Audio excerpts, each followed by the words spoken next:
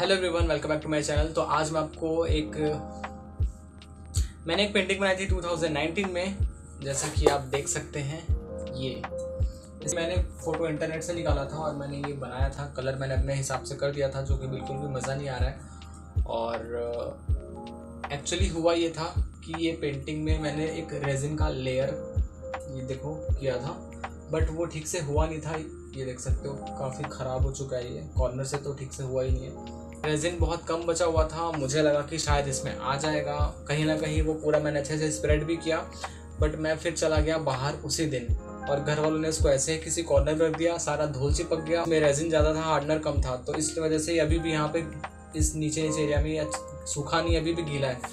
तो इसको मुझे फिक्स करना है। तो मैंने सोचा है कि क्यों ना मैं इसके ऊपर एक नई पेंटिंग बना आज रेजिन ऑर्डर किया है तो फिर उसका एक लेयर इसमें लगाऊँ। तो मैं ये प्रोसेस आपको पूरा आज के वीडियो में दिखाऊँगा। वेल well, मैंने अभी सोचा नहीं है कि मैं इसमें क्या बनाने वाला हूँ और मैंने ये सोचा है कि मैं अपने मन से कुछ एब्स्ट्रैक्ट टाइप का इसमें कुछ बनाऊँ।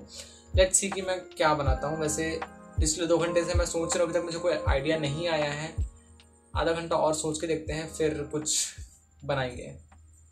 वैसे मैंने एक वीडियो भी बनाया कि रेजिन का यूज़ कैसे करते हैं। मैंने उसमें स्टेप बाय स्टेप सब कुछ करके दिखाया है तो उसकी वीडियो की लिंक मैं इधर कहीं पे आई थिंक यहाँ पे आएगा। यहाँ कहीं पे मैं डाल दूँगा, आप वहाँ से चेक कर लेना। जो ड्राइंग मैंने बनाया था, उसके ऊपर मैंने सबसे पहले ब्लैक एक्रेलिक पेंट अप्लाई किया है। ये सूखने के बाद मैंने पूरे कैनवस के ऊपर सेकंड लेयर अप्लाई किया है ब्लैक कलर का। उसके बाद मैंने वाइट टेक्सचर जिसको हम जैसो भी बोलते हैं, मैंने वो चलाया है सो दैट कि ये थोड़ा सा हार्ड हो जाए ओके ये होने के बाद मैंने फिर एक्रेलिक पेंट से वाइट जो कलर होता है, वो चलाया, ताकि ये बहुत अच्छे से इसका जो वाइट कलर है टेक्सचर है, वो आ जाए और उभर के दिखे।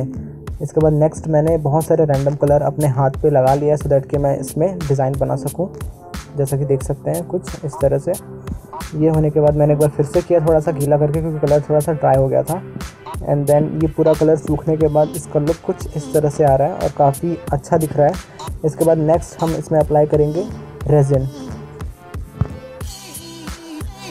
मैं आपको रेजिन कैसे लेना है मिक्स करना है, उसका मैं एक बार तरीका बता देता हूँ। अगर आप तीन ढक्कन रेजिन ले रहे हैं तो आपको सिर्फ़ एक ढक्कन उसका हार्डनर लेना है। तो ये थ्री रेस टू वन का एक्यूरेट रेशियो है, ठीक है? इसमें आपको यही चीज़ फॉलो करना है। मैंने काफ़ी बार किया है तो मैंने बिना मेज़रमेंट के डाल दिया, मुझे पता है कितना कितना लगेगा। ये मिक्स करने के बाद आपको ऐसे अप्लाई कर देना है। मैं यहाँ पे ज़्यादा डिटेल में नहीं बता रहा हूँ, इसके लिए मैंने एक वीडियो बनाया, वहाँ पे मैंने सब कुछ शो किया हुआ है। आज है डे टू और हमारा पेंटिंग फिनिश हो चुका है। तो हमारा फाइनल पेंटिंग रेडी हो चुका है। टेक अ लुक मुझे सडनली आइडिया है कि क्यों ना मैं कुछ बीच में वाइट रखूँ बैकग्राउंड में और मेरे हाथ का कुछ निशान हो, वो भी कलरफुल तो बस मैंने वही किया है। आई होप ये अच्छा दिख रहा होगा। अगर आप भी ऐसा रेजिन वर्क करना चाहते हैं अपने कैनवस बोर्ड के ऊपर तो ये बहुत ही ईजी है। मैंने वीडियो बनाया, वो आप चेक कर सकते हैं बट मैं एक सजेशन यहाँ पे दे देना चाहता हूँ कि जब आप रेजिन अप्लाई करेंगे रेजिन और हार्डनर तो हार्डनर थोड़ा होना चाहिए रेजिन ज़्यादा होना चाहिए और उसको बहुत अच्छे से मिक्स करना है और उसमें जो एयर बबल्स होते हैं, उसको टैप करने से वो 90 परसेंट चले जाते हैं, कुछ एक आध रह जाते हैं। उसको आप लाइटर या माचिस की हेल्प से आप उसको भी हटा सकते हो, ठीक है? और सबसे ज़रूरी चीज़ ये है कि जिस रूम में आप इसको ड्राई करने के लिए रखोगे, वो रूम एकदम नीट एंड क्लीन होना चाहिए, बिल्कुल भी धूल डस्ट या कुछ भी नहीं होना चाहिए, वरना वो सीधा रेजन में जाके चिपक जाता है। इवन कीड़े मकोड़े भी जाके उसमें गिर जाते हैं तो वो बाहर नहीं आ पाते। तो थोड़ा सा आपको ध्यान रखना पड़ेगा।